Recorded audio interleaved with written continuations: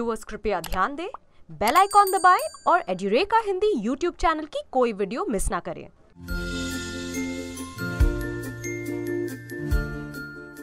हाय दोस्तों, स्वागत है आपका एक बार फिर से एड्यूरेका के यूट्यूब चैनल पे।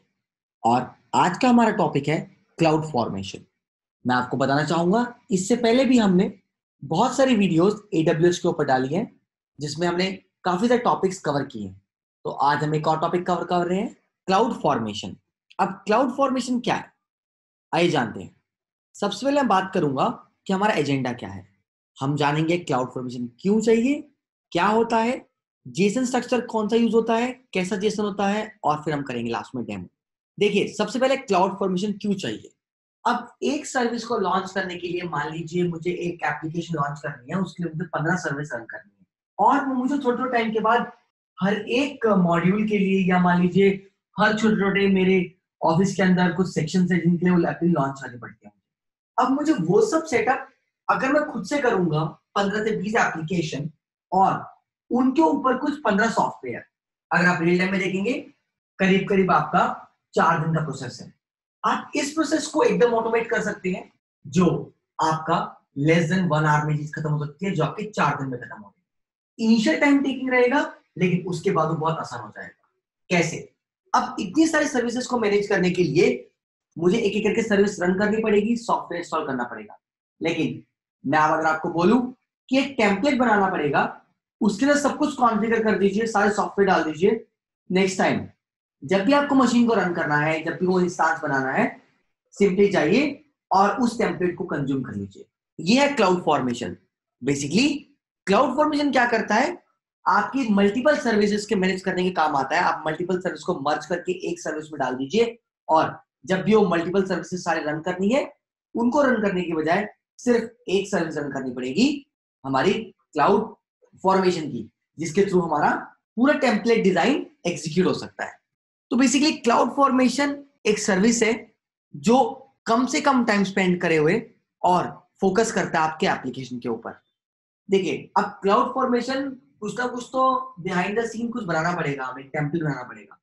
अब जो टेम्पलेट कंस्ट्रक्ट करना पड़ता है, उसका फॉर्मूला होता है जेसन अब इसका मतलब ये नहीं कि मुझे पहले कोडिंग सीखनी पड़ेगी क्लाउड फॉर्मेशन में काम करने के लिए, लेकिन एक जेसन स्ट्रक्चर का आना मुझे बहुत ज़रूरी है। तो मुझे जेसन स्ट्रक्चर बनाना पड़ेगा, उसके थ्रू मैं क्लाउड फॉर्मेशन एग्जीक्यूट कर सकता हूँ। और वो जेसन स्ट्रक्चर कैसा दिखता है और हम कैसे बनाएँगे? देखिए, अब जो जेसन स्ट्रक्चर हम बनाते हैं, उसके अंदर मल्टीपल पैरामीटर होते हैं। जो एडब्ल्यू से टेम्पलेट फॉर्मेट का वर्जन होता है डिस्क्रिप्शन की किस तरह की एप्लीकेशन है, क्या बनेगा, क्या क्या सर्विस है, वो सब आप डाल सकते हैं इसके अंदर। मेटा डेटा मीन्स जो उसके सराउंड करेगा, जो उन एप्लीकेशन रन करने के लिए एक टैग चाहिए, या फिर कुछ आउटलाइन चाहिए, वो मेरे डेटा में जाएँगी। पैरामीटर्स मान लीजिए मैंने डेटाबेस सेटअप किया डेटाबेस के कुछ पैरामीटर्स होंगे, वो मैं सेटअप करूँगा। मैपिंग मुझे कौन सी सर्विस किस मैप करनी है? कंडीशंस कैसे कैसे सर्विस मैप होंगी कौन कौन सर्विस किस किस चीज़ के साथ मैप होंगी? आउटपुट फाइनल आउटपुट में क्या आना चाहिए? इनपुट में क्या जाना चाहिए? और कौन कौन से रिसोर्सेज अनेबल करने पड़े हैं? इन सब चीज़ों को कंबाइन करके एक जेसन फॉर्मेट रेडी होता है। सो so, देखिए इस तरह से जेसन फॉर्मेट होता है। मान लीजिए मुझे एक बकेट बनाना है एस का। मैंने बोला कि name of your bucket type of type क्या उसका रिसोर्स टाइप बेसिकली इसको आपको करके दिखाता हूँ कि कैसे एक क्लाउड फॉर्मेशन आपको हेल्प करता है किसी एक टेम्पलेट को डिज़ाइन करने में।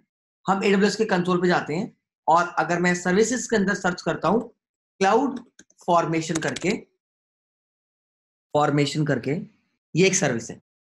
अब यहाँ पर अपना स्टैक क्रिएट करेंगे। या तो हम टेम्पलेट रेडीमेड यूज़ करेंगे, या फिर हम डिज़ाइन करेंगे टेम्पलेट को। मैं डिज़ाइन करता हूँ टेम्पलेट को। अब टेम्पलेट डिज़ाइन करने के लिए, देखिए कैसे, हमारे पास ड्रैग एंड ड्रॉप होता है। इस तरह का फीचर आपका नॉर्मल प्रोग्रामिंग में एक नोट रेड आता है, वो देता है। उसके अलावा जेएस प्लम ये सब फीचर देते हैं। अब अगर मुझे एस थ्री की एक सर्विस बनानी है, एक टेम्पलेट बनाना है, मैं पहले एस थ्री सर्च करूँगा बकेट को ड्रैग करके यहाँ ले आऊँगा। अब जैसे मैं बकेट को यहाँ पर लाया, देखिए, नीचे इसने मुझे उसका जेसन डिज़ाइन करके दे दिया।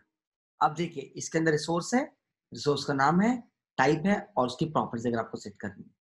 और मान लीजिए आप इसको नाम चेंज करना चाहते हैं मैंने डाला एड्यूरेका एस एफ़ या फिर सी एफ़ क्लाउड फॉर्मेशन उसके बाद, अब यहाँ पे क्लिक कीजिए, ये एज अ टेम्पलेट इसको लॉन्च करेगा। देखिए launching and creating updating stack बाद में आपको रिडायरेक्ट करेगा एक पेज के ऊपर, जहाँ पर आपको कुछ इंफॉर्मेशन फिल करनी है इस टेम्पलेट के लिए।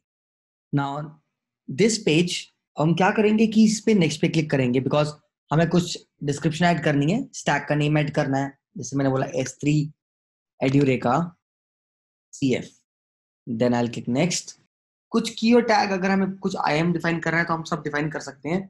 मैं भी ब्लैंक रखूँगा and I click next and create stack तो अब देखिए, जब आपने एक स्टैक क्रिएट कर दिया, अब इसका एक प्रोसेस चलेगा जिसमें आपको एक स्टैक को क्रिएट करना स्टार्ट करेगा। अभी ये स्टेटस का क्रिएट इन प्रोग्रेस है। जब पूरा क्रिएट हो जाएगा तो हम अपने एस बकेट के अंदर जाएँगे और वहाँ पर हमें ये स्टैक प्रॉपर एक टेम्पलेट डिज़ाइन हुआ मिलेगा। ऑल दो थोड़ा टाइम लेता है ये, एक स्टैक को क्रिएट कर बिकॉज़ इसको एक प्रॉपर एक स्ट्रक्चर बनाना है कि नेक्स्ट टाइम अगर वो ज़रूरत पड़ती है तो वहीं से लॉन्च हो सके। तो इस तरह से आप एक क्लाउड फॉर्मेशन से आप प्रॉपर एक टेम्पलेट डिज़ाइन कर सकते हो और उस टेम्पलेट से आप एक प्रॉपर मशीन लॉन्च कर सकते हो। अगर मैं इसको रिफ्रेश करता हूँ तो देखिए, ये कंप्लीट हुआ और अगर हम एस थ्री बकेट के अंदर जाते हैं, देखिए, एक इसने हमारी बकेट में अंदर टेम्पलेट रेडी कर दिया। इस तरह से क्लाउड फॉर्मेशन आपका एक टेम्पलेट डिज़ाइन करता है और उस टेम्पलेट को आप रीयूज कर सकते हो बार बार सेम चीज़ को लॉन्च करने के लिए। नाउ अब मैं आपको दिखाता हूँ कि एक पूरा, मान लीजिए मुझे एक लैम्प स्टैक डिज़ाइन करना है तो उसके लिए मैं कैसे करूँगा? तो एक पूरा लैम्प स्टैक को एक सेटअप करते हैं क्लाउड फॉर्मेशन से। और वो कैसे करेंगे? मान लीजिए मुझे नया स्टैक बनाना है, सबसे मैं क्रिएट स्टैक करूँगा। इन्होंने हमें कुछ सैंपल टेम्पलेट दे रखे हैं। अब यहाँ से मैं सैंपल टेम्पलेट चूज़ करता हूँ। अब इस टेम्पलेट में मेरे पास एक लैम्प स्टैक का टेम्पलेट होता है। अब इस टैग के अंदर हमारे पास EC2 भी है। एक इंस्टांस के ऊपर लैम्प का पूरा स्टैक डिफाइंड है, देखिए यहाँ पे। डिस्क्रिप्शन है पैरामीटर है पैरामीटर के अंदर हमारे पास डेटाबेस का नेम डाल सकते हो कनेक्शन स्ट्रिंग डाल सकते हैं पासवर्ड डाल सकते हैं इंस्टांस का टाइप डाल सकते हैं एस का लोकेशन डाल सकते हैं मतलब जो भी कॉन्फ़िगरेशन करनी है आप यहाँ पर कर सकते हो। उसके बाद आप इसको नेक्स्ट लॉन्च कर सकते हो। लैम्प स्टैक को सेटअप करने के लिए मुझे एसक्यूएल सेटअप करना पड़ेगा पीएचपी डालना पड़ेगा सर्वर सेटअप करना पड़ेगा इसी टू मशीन सेटअप करनी पड़ेगी, लेकिन अब मुझे कुछ नहीं करना है। सब कुछ मैंने एक फॉर्मेशन बना के रख लिया नेक्स्ट टाइम के लिए। अब किसी को भी ये लैम्प स्टैक यूज़ करना है अक्रॉस मेरे रीजन में या फिर मेरी कंपनी के अंदर या फिर मेरे डोमेन में, वो सिंपल ही इस मशीन को लॉन्च करेगा या इस स्टैक को लॉन्च करेगा और कंज्यूम कर सकते हैं। बिकॉज़ एडब्ल्यूएस ने एक स्टैक दिया, लेकिन मैं उससे कस्टमाइज भी कर सकता हूँ उसके ऊपर अपने हिसाब से। तो हम नेक्स्ट आएँगे स्टैक का नाम। यहाँ पर डालना होगा। मान लीजिए मैं लिखता हूँ, एड्यूरेका लैम्प।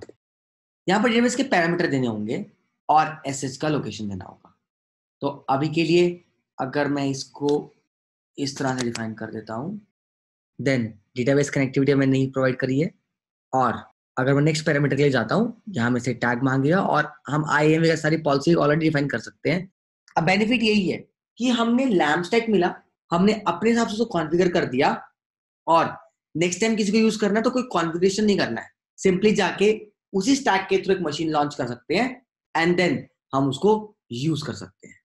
अब देखिए, बोल रहा है कि एक पासवर्ड स्पेसिफाई करना है हमें। तो अगर हम वापस जाके अब डीवी का एक पासवर्ड सेटअप करता हूँ, जिसके थ्रू मैं कनेक्ट कर पाऊँगा तो एक पासवर्ड सेटअप किया, एक यूज़र नेम सेटअप किया। हम प्रोसीड करते हैं। It asking only alphanumeric तो शायद मैंने कैपिटल में भी डाल दिया है, उसको मैं रिमूव कर देता हूँ। उसके अलावा हमें यहाँ पर एक की वैल्यू पेयर भी देना है। तो मैं एक अपना एक की वैल्यू पेयर डिफाइन करता हूँ और फिर हम नेक्स्ट करेंगे। नेक्स्ट करने के बाद ये लॉन्च करेगा हमारा अगेन एक क्लाउड फॉर्मेशन का पूरा स्टैक तो अब यहाँ पर हमारा एक स्टैक क्रिएट हो जाएगा। हम उसको रिफ्रेश करके देखते हैं। देखिए एक स्टैक क्रिएट हुआ। अभी क्या करेगा? एक EC2 लॉन्च करेगा। उस EC2 के अंदर ये हमारे लिए लैम्प स्टैक को सेटअप करके देगा। तो अगर मैं अब EC2 के ऊपर जाता हूँ, देखते हैं। देखिए, यहाँ पर एक रनिंग इंस्टेंस आ गया। अब मैं वापस जाता हूँ और अपना यहाँ पर क्लाउड फॉर्मेशन भी चेक करता हूँ। देखिए, इसका क्रिएशन कंप्लीट हो गया। अब मैं इसी टू पे जाता हूँ तो यहाँ पर हमारी एक मशीन लॉन्च हो जाएगी। देखिए, अब ये मशीन इनिशियलाइज हो रही है। जब रेडी होगी तो हम कनेक्ट करेंगे और कनेक्ट करके इसको एस करेंगे। एसएसएच के बाद हम चेक करेंगे कि क्या हमारा माई सिक्वल इसके अंदर इंस्टॉल है कि नहीं। देखिए, अब ये सब कुछ सेटअप अगर मुझे खुद से करना पड़ा तो मुझे टाइम लगता। मैं मशीन लॉन्च करता मल्टीपल टर्मिनल खोलता ये सेटअप करता और हर बार वही चीज़ करता। लेकिन अब क्लाउड फॉर्मेशन में एक टेम्पलेट बना के रख सकता हूँ और उस टेम्पलेट के थ्रू हर बार एक न्यू मशीन लॉन्च कर सकता हूँ। अब रनिंग इंस्टांस को हम कनेक्ट करेंगे। अगर आप विंडो मशीन यूज़ कर रहे हैं तो आप पुट्टी करेंगे और अगर आप मैक या लिनक्स यूज़ कर रहे हैं तो डायरेक्ट आप एक एस एच कमांड रन कर सकते हैं। तो जो मेरे पास ये पेम फ़ाइल है, मेरे डॉक्यूमेंट्स के अंदर पड़ी हुई है। तो फ़र्स्ट ऑफ़ ऑल मेरे डाउनलोड्स के अंदर एक्चुअली है। तो मैं डाउनलोड्स फोल्डर के अंदर जाऊँगा और यहाँ से एस करूँगा। अब जब मेरा इंस्टांस कनेक्ट हो जाएगा तो मैं चेक कर सकता हूँ कि इसमें डीबी है कि नहीं है। देखिए, अब मेरा इंस्टांस कनेक्ट हो गया। अब ये जो इंस्टांस है, अगर मैं यहाँ पर माई सिक्वल लिखता हूँ, देखिए माई सिक्वल से कनेक्ट हो गया। अगर मैं यहाँ पर शो डेटाबेस भी लिखता हूँ तो बेसिकली मेरी कमांड एग्जीक्यूट हो रही है। तो पॉइंट ये है कि अब ये सब कुछ अगर मुझे खुद से करना पड़ता तो मुझे टाइम लगता। इन सब के लिए आपका बेस्ट है एडब्ल्यूएस का क्लाउड फॉर्मेशन जिसके थ्रू आप एक प्रॉपर स्ट्रक्चर सेटअप करके लॉन्च कर सकते हो। इसका यूज़ है आपका, जैसे मान लीजिए बैकअप अगर आपको डिजास्टर रिकवरी करनी है, फटाक से एक इंस्टांस लॉन्च करना है, या फिर कुछ ऐसा रिक्वायरमेंट आएगा कि एकदम से सेम तरह का इंस्टांस लॉन्च लॉन्च करना है, या फिर पुराना इंस्टांस काम नहीं कर रहा, नया इंस्टांस चाहिए। तो क्विक रिस्पॉन्सेस के लिए बेस्ट है और ऑल टाइम सेविंग तो है ही हर केसेस में। सो so गाइस इस तरह से हम क्लाउड फॉर्मेशन का यूज़ रखते हैं। तो हम वापस आता हूँ अपने स्लाइड्स पे। तो guys thanks for watching this video हमारे चैनल सब्सक्राइब कीजिए और हर तरह का एडब्ल्यूएस के अलावा और भी बहुत कोर्सेज हैं जो हम इस पर लॉन्च कर रहे हैं, वो भी हिंदी में। और हम एडब्ल्यूएस के अंदर इन सब के ऊपर प्रॉपर ट्रेनिंग भी प्रोवाइड करते हैं, जिसमें हम प्रॉपर आपको एडब्ल्यूएस के मल्टीपल कोर्सेज में सर्टिफिकेशन के लिए प्रॉपर ट्रेनिंग देते हैं। Thanks a lot. Bye bye. Take care.